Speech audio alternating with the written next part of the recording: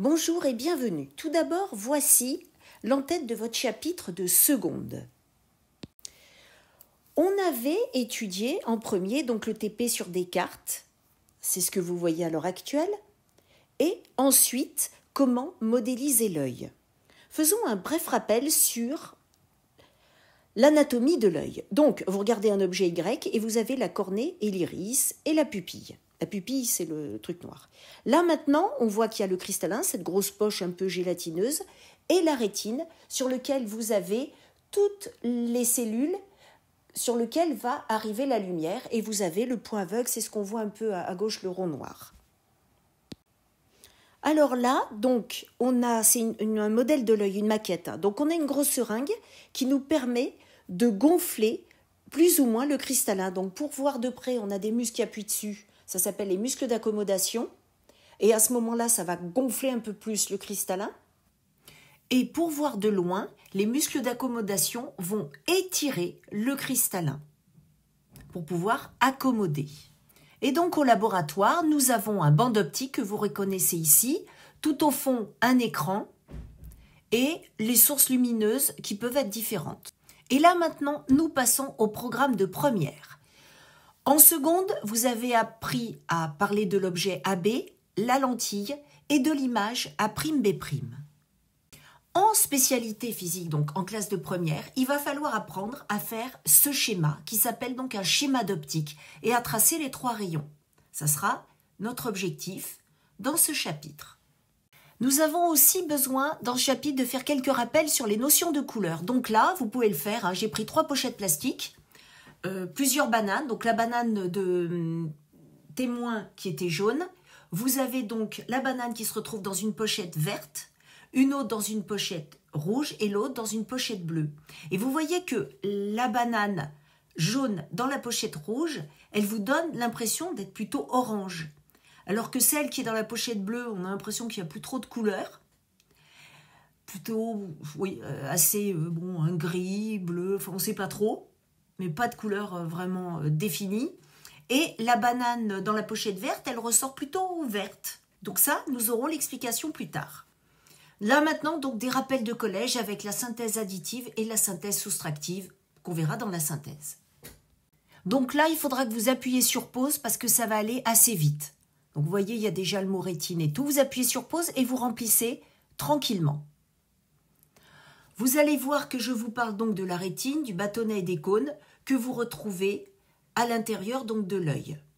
La rétine, c'est l'écran qui est au fond, hein, près du câble qui s'appelle euh, le nerf optique.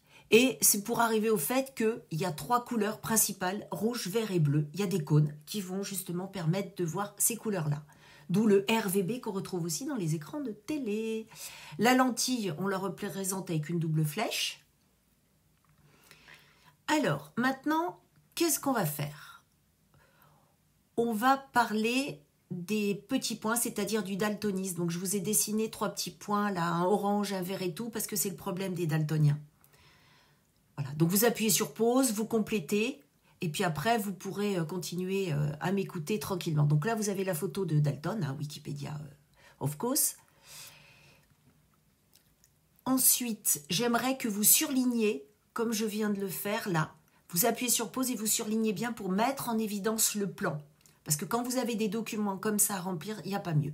Donc là, c'est pareil, vous appuyez sur pause et vous remplissez. Ce sont des rappels de secondes. Donc la lumière blanche donne un spectre continu contenant une infinité de radiations colorées. C'est ce qu'on appelle un arc-en-ciel. Hein. Voilà.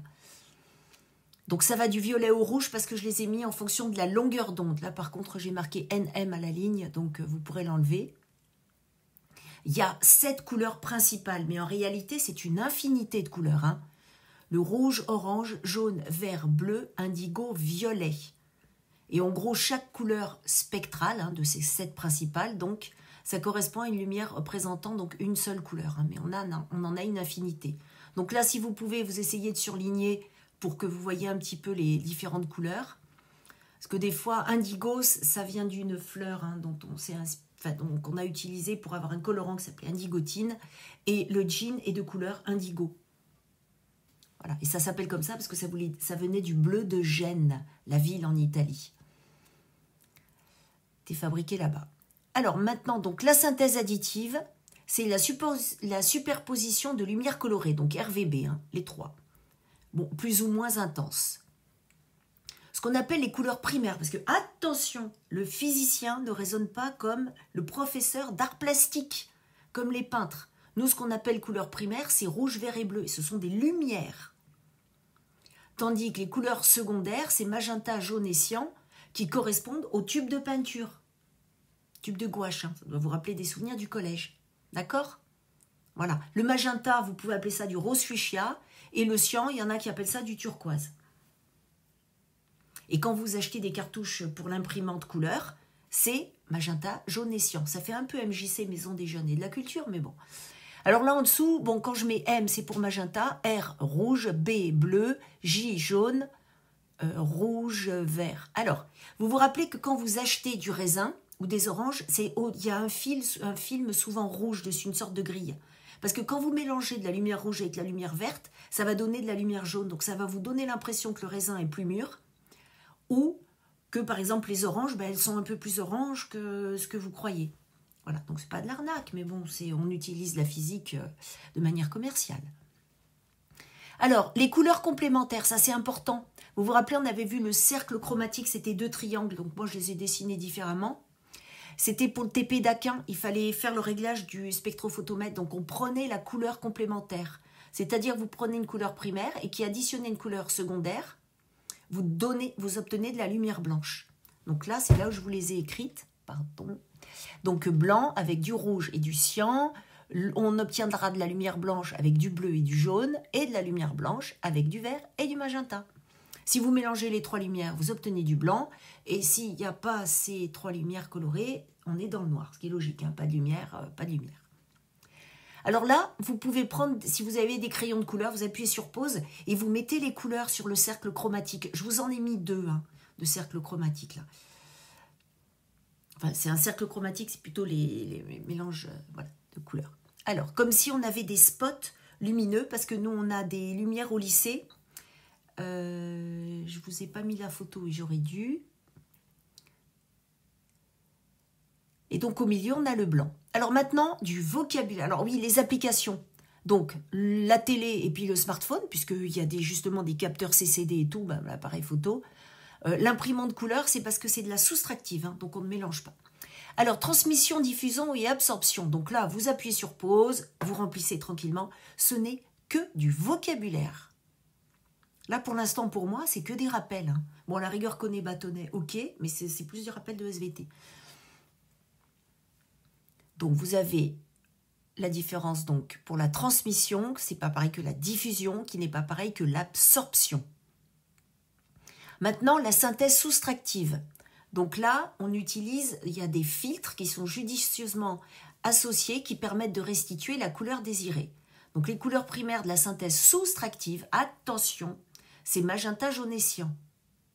Euh, j'ai mis entre parenthèses cyan, mais bon, je vous laisse modifier. Hein.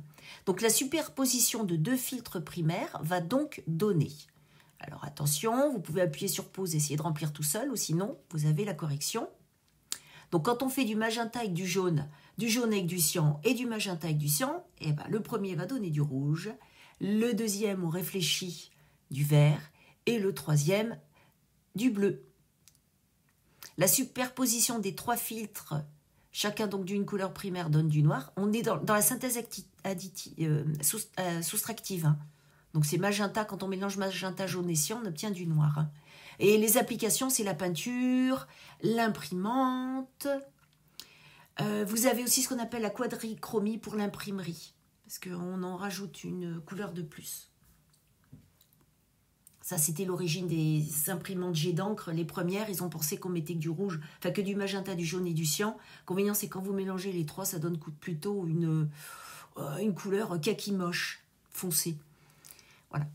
Alors, la couleur d'un objet, comment ça se fait qu'on voit une cerise rouge? Donc, ça dépend de la nature euh, de l'objet, de la couleur de l'objet et de la lumière qui l'éclaire. Et c'est pour ça que là, on peut en revenir euh, aux bananes que j'avais, que j'avais placées euh, sous la pochette plastique. Et c'est fini. À bientôt.